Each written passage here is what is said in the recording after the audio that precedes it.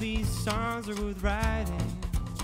Not all of these words are worth talking about. I must confess, I saw you undress through a sticky eyelid in the half dark.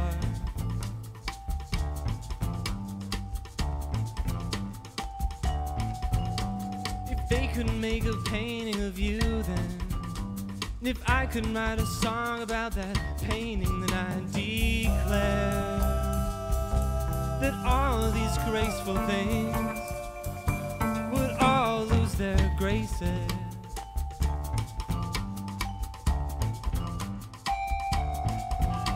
Your face didn't used to look like that. It's been changed and rearranged and contorted by the sorrows of the world. Change you like to change your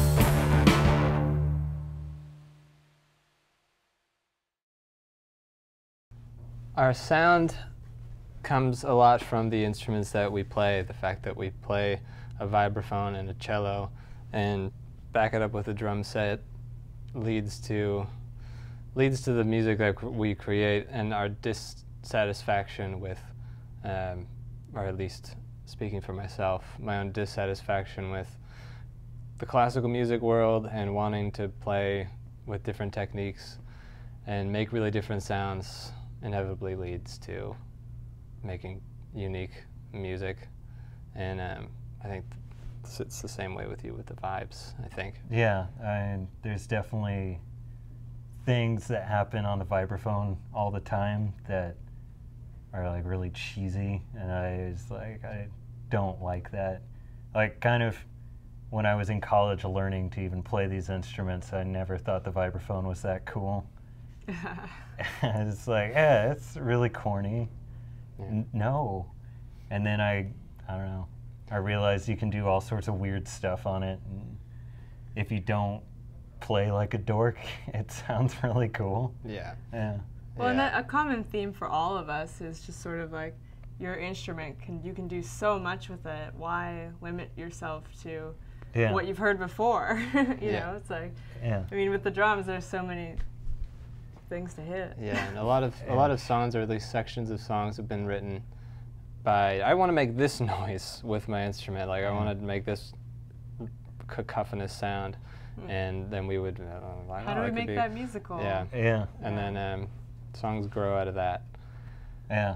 I used to like steal a quote from Tom Morello. It's just like a Yeah. complete disregard for the tradition of our instruments. Yeah. A lot And of still trying to not make people run away when they hear it initially.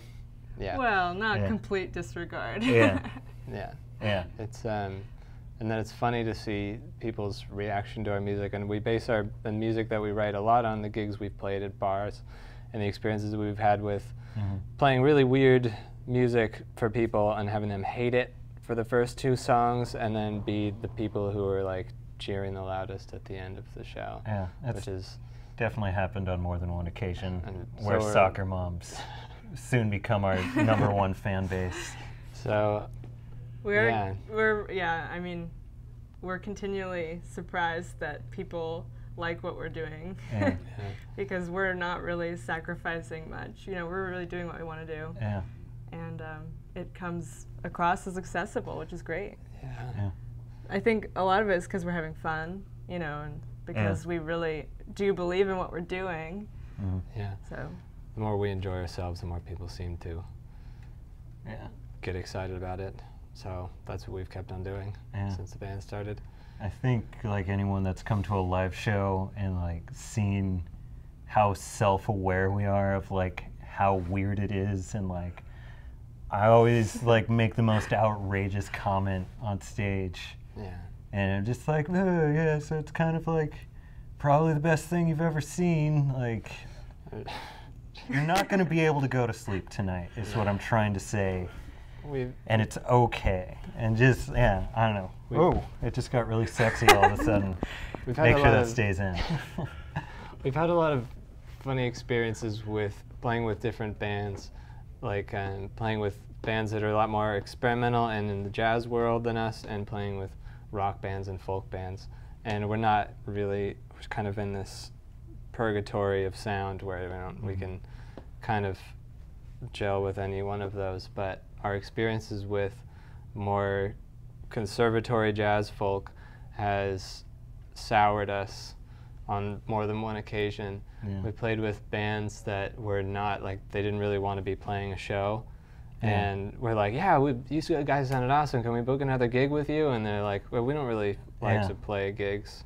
And, Yeah, and it's that attitude yeah, sat so poorly with us that uh, like there was a running joke on stage that um, uh, that people would not look at us while we were playing a certain song because it was too ryth- rhythmically Yeah. complex. That that we had degrees, and so anyone Yeah. with a lower musical education should divert Yeah. their attention elsewhere.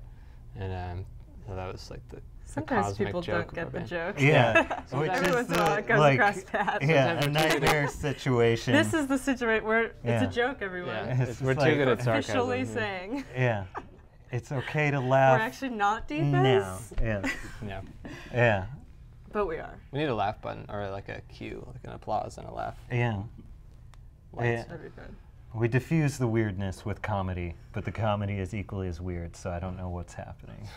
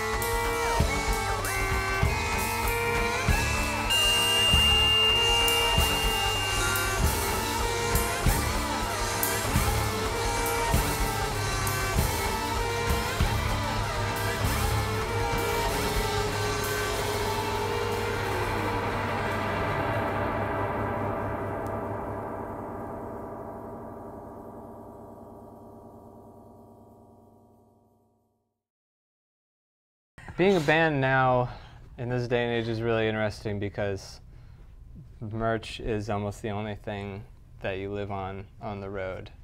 Uh, We're definitely shirt salesmen. Yeah. Shirt salesman first. shirt salesman first, musician second Yeah. on tour. Because nobody buys music anymore, Yeah. except when they're at a show and Yeah. they're really excited to have just seen you play. Which is awesome. And they're like, "Yeah, we'll pay ten dollars for your CD," Yeah. and then they, even if they go home and just listen to us on Spotify for the rest of their lives, Yeah. and never even open it, it's like people are still willing to buy it Yeah. because they're having the experience. Yeah. that like people are willing to show their support Yeah. like financially. It's not so much about the thing It's- anymore, yeah. but the uh like we want to support what you're doing, Yeah. which is really cool. So that's that's how we that's how we make a living when we do Yeah. on the road and things like that. Uh, because the music industry is just such a crazy weird place to navigate now. There's no rules. There's there are no rules and you just have to be self sufficient any way you can. I think that's yeah. I think maybe that's part of why people like us. There are no rules, but still, there's a lot of people just like fitting themselves into these tropes that have been around forever. Yeah.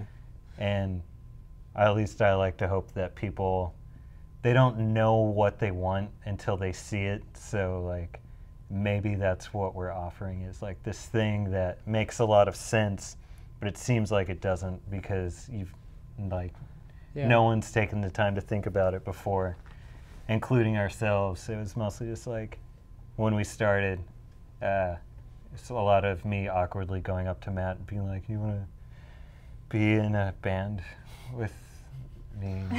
I wasn't uh, sure exactly what you were asking me. Yeah, And you're, you're like, I, I wanted, I want somebody to play cello on this thing because it goes like this. Yeah. And I was like, okay, I can do that. Yeah. And then by the end of, And then we were like, yeah, it's in 9 8 and then Yeah. 7 8 and then Yeah. but only the third time and then this.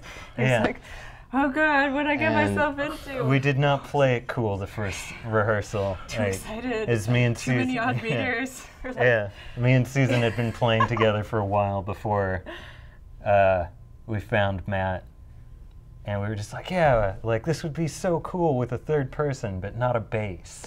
yeah. And luckily, Yeah. luckily I had played the drums before the cello, so I didn't have the classic inane sense of rhythm that comes with being a, a string player Yeah, raised on classical music.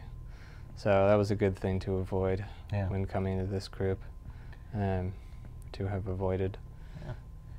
yeah. It's been good. Like we both, we fit together in this weird power triangle where me and Matt both like have studied classical music a lot. Like in college, I spent all my time playing timpani and thinking the vibraphone was stupid. And then I don't Yeah. know. I got really weirded out in grad school, and it all started changing. So like me and Matt have like that super strong classical connection, and then by virtue of just being drummers that are obsessed with rhythm, like Susan and I had this really like tightly locking thing.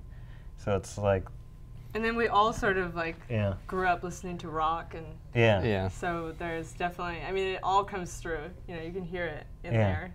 yeah, we're still a band in America, yeah, so playing in bars. yeah. So there's the uh, the Bruce Springsteen But our, element. our that's sound, I mean, you, you can hear the classical music, like Yeah. like We've- the influences, like even though it might seem like we're going crazy and doing all this stuff, which we are, It's but like this is actually really Shostakovich. planned. yeah, it's We've actually thought out this can- very yeah. carefully. Yeah. planned planned chaos most of the time. Which is like I feel Yeah. like I just ruined the magic, maybe, but you know. Don't tell anyone. No, no one needs to know how the sausages are made. Yeah.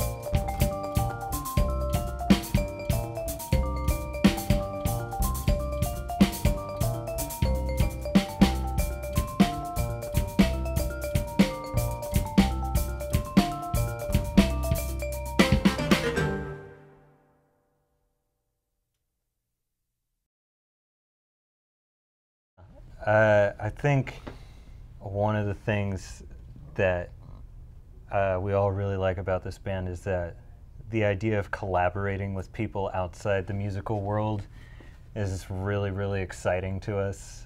You know, that thing, but like any band, we want to play like big festivals where there's a lot of people and there's just like the energy of being in bigger and better places all the time is where we want to go and making really cool art with Yeah. other people. If I could say that any more caveman, me want cool art.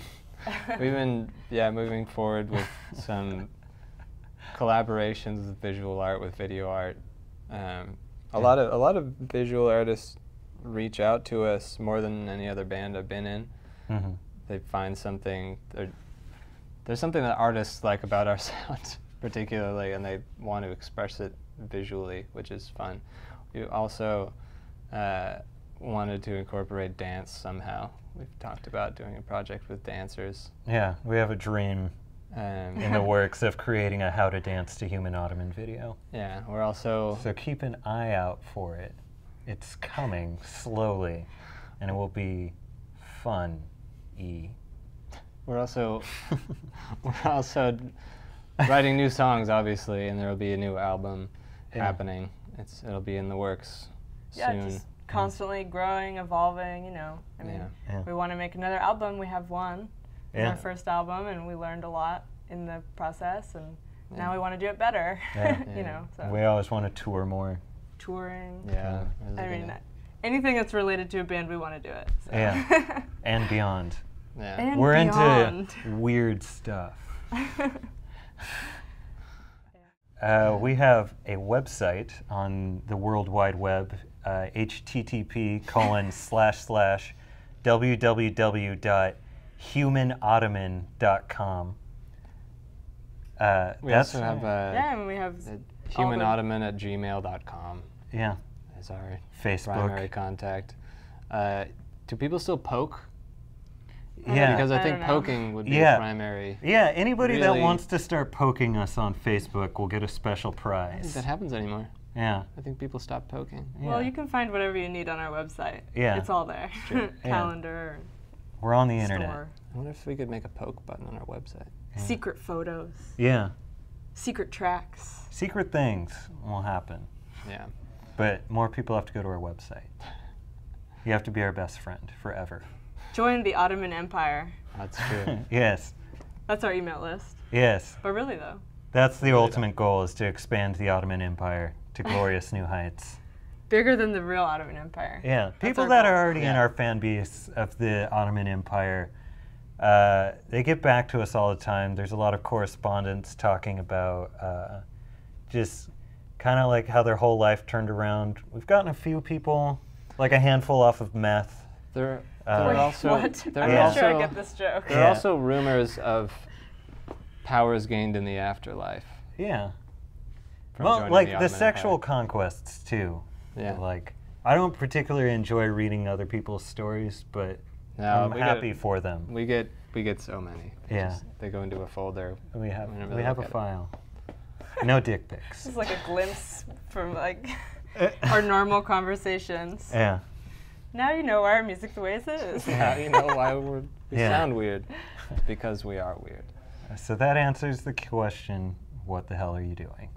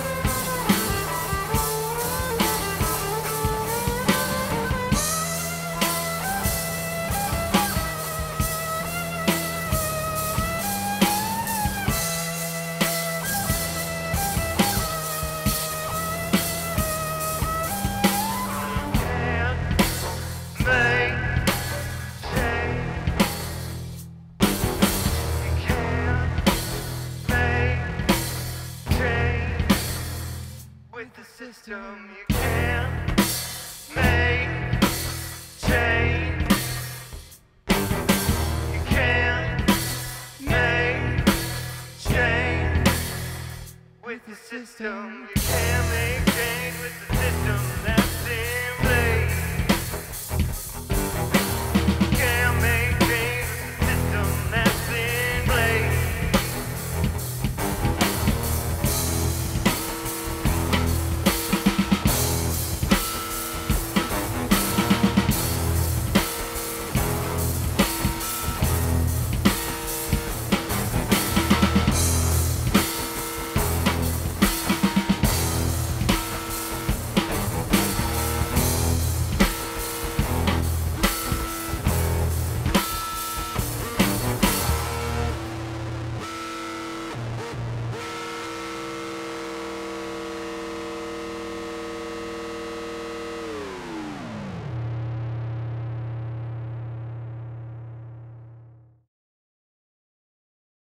My my background is classical and non-classical, but uh, Grayson and I spend a lot of time geeking out over the heaviest possible classical pieces that we can find. All the most- Russians. all the the Russians and the Yeah. and um, and trying to extract something from that. And I even I'll play sections of Shostakovich at the end of songs or something, Yeah. just as like a it because it fits so well. I almost I don't want to I don't want to reveal any sausage making techniques either, but several passages in in several songs are almost stolen from etudes or little snippets of Yeah. uh, classical pieces or something. So there's sort of this like meta classical joke Yeah. in our music. We love As well classical music, but we don't like classical music behavior, Yeah. I guess. Yeah. I guess from the, the world. rebels Yeah. of the orchestra. Yeah. These Yeah. two. yeah. It's uh yeah. We love so many things about jazz and classical, but there's like attitudes. right. That It we really, I guess it is just an attitude thing. Yeah. I was. Uh, It's like yeah, we'd, we'd rather put on a show, Yeah. and a lot of people who play those genres are, I don't know why they don't want to put on a show. Yeah. Yeah. There's yeah, it's something about the academia part of it going to college that gets into people's heads and it like definitely happened to me because I've spent over an hour talking about bass drum mallets to people and like how important it is to pull out the right one Yeah. and then just like completely forgot about the audience. It's like they'll like it just because it is what it is Yeah. and that's I don't think that's true. Like, uh, it's an interaction between the audience and us. Yeah, it's Yeah. important to make a connection. Yeah, Yeah. Um, yeah, I guess we more than not hate. We were just. you've made a huge mistake. I made a huge mistake. oh God. There's really just a dissatisfaction with the Yeah. artifice of classical and jazz and the way it's been canonized, and I feel like we're all really bored with that as musicians. yeah, That's what led to us yeah, breaking out of those breaking out of those traditions and making yeah. music that was fun.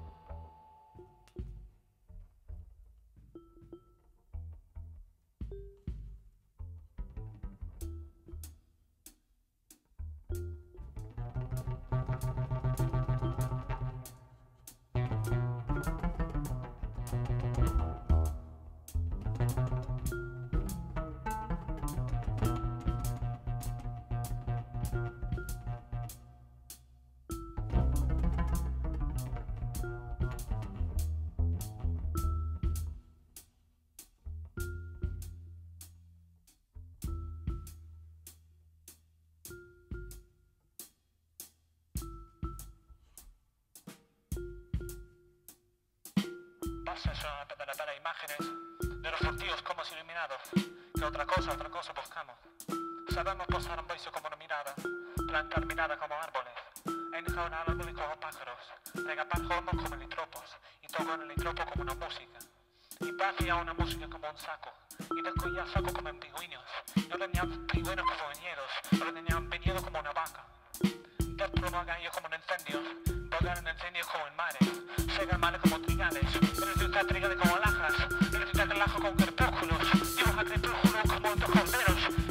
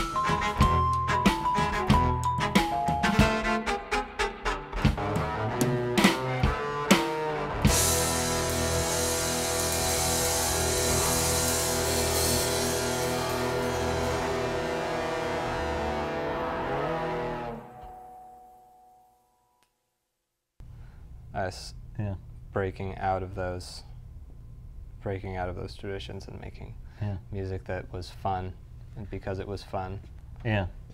by fun, for fun, and of fun. hmm So It's made of fun. Yeah.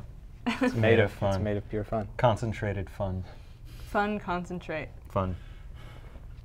Yeah. What? It's a swirling pit. That's fun. That doesn't suck me down. It. Churn the fun. Yeah. Churn the fun. Fun. Fun. Fun. Fun. Fun. Fun. Other way. Oh. Don't let it get stuck. All right, what else can we talk about? Next question.